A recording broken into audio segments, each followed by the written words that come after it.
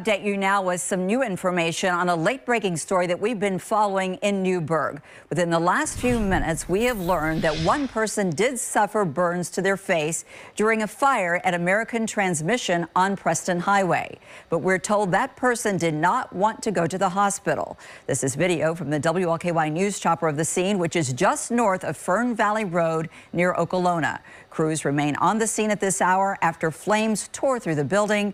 The roof is gone and there is significant damage. The rest of the structure. Now we are told that the call came in around 4 o'clock this afternoon. No word yet on what may have started it.